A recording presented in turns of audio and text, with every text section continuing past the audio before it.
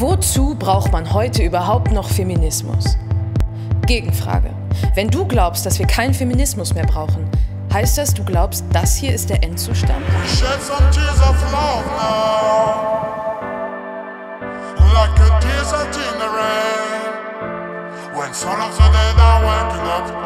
Ist es überhaupt denkbar und wünschenswert, dass die Art, wie wir heute leben, das abschließende Ergebnis aller Kämpfe und Diskussionen um Gleichberechtigung ist?